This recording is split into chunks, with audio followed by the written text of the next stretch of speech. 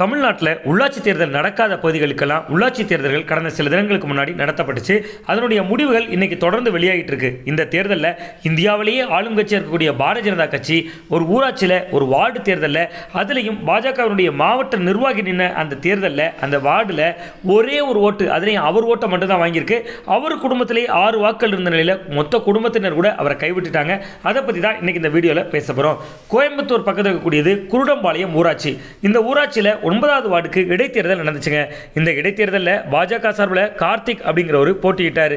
ஏற்கனவே இந்த வார்டில் இருந்தவர் இறந்து போயிட்டதுனால இந்த வார்டில் ரீதேர்தல் நடந்துச்சு. அதில் திமுக சார்பில் அருள்ராஜ் அதிமுக சார்பில் வைத்தியலிங்கம் பாஜக சார்பில் கார்த்திக்னு ஒருத்தர் தேமுதிக சார்பில் ரவிக்குமார் அப்படின்னு சொல்லக்கூடியவங்களும் இது போக சில சுயேட்சை வேட்பாளர்களும் போட்டியிட்டாங்க. இந்த வார்டில் மொத்தம் ஆயிரத்தி ஐநூற்றி ஐம்பத்தோரு ஓட்டு. இதில் தொள்ளாயிரத்தி பதிமூணு ஓட்டு தான் பதிவாக இருந்துச்சு இதில் அருள்ராஜ் தான் தொடர்ந்து முன்னிலை வகித்து வந்தார். அருள்ராஜ் மொத்தம் முந்நூற்றி எண்பத்தி ஏழு வாக்கள் பெற்றார். அவருக்கு அடுத்ததாக வந்த சுயேட்சை வேட்பாளர் ஜெயராஜ் கூட இரநூத்தி நாற்பது வே வாக்களை வாங்கிட்டார். ரெண்டாவது இடத்துக்கும் வந்தார்.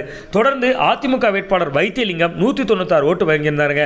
இந்த தேர்தலில் மூணு வாக்குகள் செல்லாத வாக்குகளாக இருந்துச்சு. சரி அப்போ பாஜக எவ்வளோ ஓட்டு தான் எடுத்துச்சு அப்படின்னு கேட்குறீங்களா பாஜக சார்பில் இந்த தொகுதி இந்த வார்டில் போட்டியிட்டவர் கார்த்திக் மொத்தமாக ஒரே ஒரு ஓட்டு தான் வாங்கியிருந்தார். தேமுதிக கூட அவரோட கூடுதலாக ஒரு ஓட்டு வாங்கி ரவிக்குமார் ரெண்டு ஓட்டு வாங்கியிருந்தார். சரி கார்த்திக் சாதாரண ஆளா அப்படின்னு பார்த்தீங்கன்னா கோயம்புத்தூர் மாவட்ட பாஜக இளைஞரணி மாவட்ட துணைத் தலைவராகவும் இருக்கார்.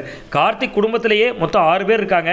சொந்த குடும்பத்தினர் கூட அவர் பாஜகல இருந்து போட்டிட்டாருங்கிறதுனால ஓட்டு போடலை அப்படின்னு சொல்கிறாங்க இது மாதிரியான சுவாரஸ்யமான பதிவுகளை தெரிஞ்சுக்க மறக்காம நியூஸ் செகண்ட்ஸ் யூடியூப் சேனலை சப்ஸ்கிரைப் பண்ணுங்கள் நன்றி வணக்கம்.